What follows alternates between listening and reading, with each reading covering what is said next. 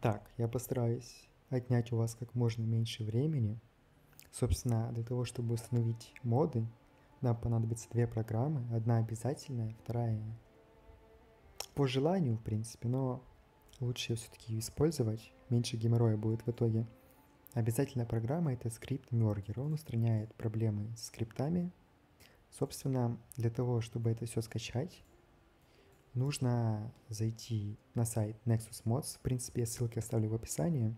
Чтобы скачать с Nexus Mods что-либо, нужно зайти в Files, Manual Download, Slow Download и подождать, пока закончится таймер. После этого загрузка начнется сама. После того, как все скачалось, просто заходим в архивы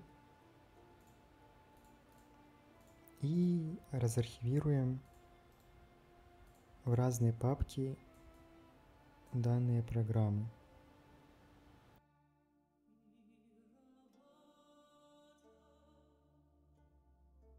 На этом пока что все. Они нам сейчас не нужны.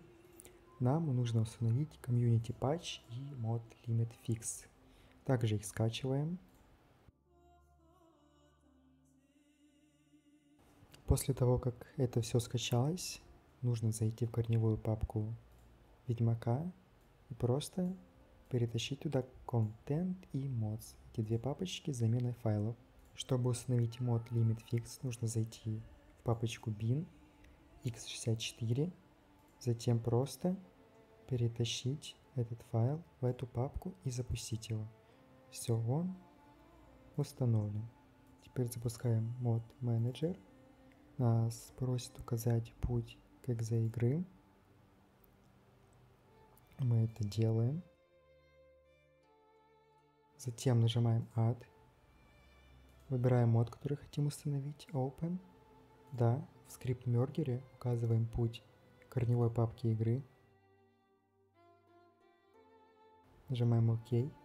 Сейчас конфликтов не появилось, потому что это только первый установленный мод. Нажимаем еще раз Add, выбираем второй мод. Нажимаем Да. Появляются конфликты скриптов. Теперь объединяем их. Нажимаем Далее. Окей. Окей. Все. Бывает такое, что скрипт Merger не может устранить проблемы со скриптами сам, ему нужно помочь. На помощь вам придет это видео, ссылку на него я оставлю в описании, потому что повторять одно и то же не вижу большого смысла. Также, если вам нужно больше информации о всяких нюансах, тонкостях установки модов, я оставлю ссылку на свое руководство, где я более подробно описал установку и связанные с ней тонкости, нюансы.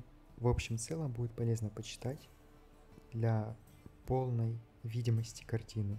В любом случае, если будут вопросы, можете либо в стиме меня добавлять, я оставлю также ссылку на себя, либо описать вопросы в комментариях, я в принципе, я в принципе вам с легкостью отвечу и помогу.